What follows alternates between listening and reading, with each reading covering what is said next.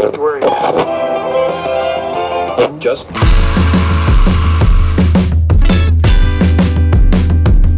I will be traveling to Europe like it's the 60s. So I'm going to take a peek inside and I'm going to show you what's in here. I'm so excited. This is the suitcase. We have vintage vibe shoes. We've got a Super 8 camera. We've got an AM and FM radio, which I honestly don't know how to work. We've got an Italian phrase book and Polaroid. I am not a good traveler in general, but when you take away the things that actually help me the most, like a phone and a GPS, technology, credit cards. I am so excited. I'm going to Europe. I'm going to Europe right now. Okay, this should be fun. Hi, everybody. Meeting everybody was so much fun. Here we are, ready to set off on our journey. Definitely not how you're supposed to hold that thing.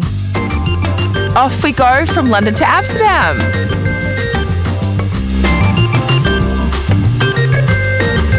Can you help me, sir? Do you know where the park is?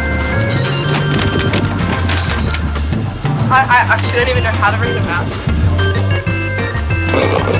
Cycling through the streets of Munich. Come along.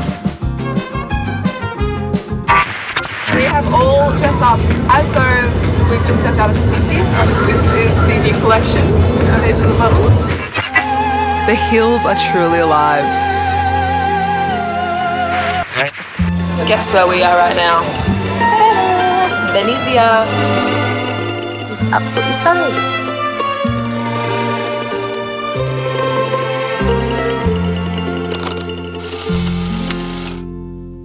Yep. Bellissimo. Should I jump in, guys? Actually, jokes. That's definitely illegal.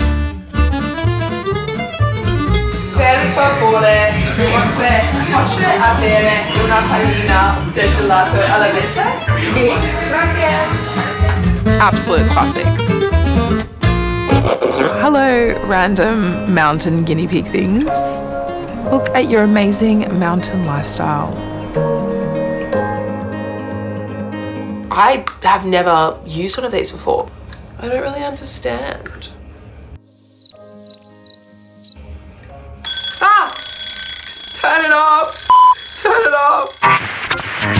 Yes, gotta get a French crepe while I'm holidaying in the city of love. So I'm starting to miss home a little bit. So what better time to send my family a postcard?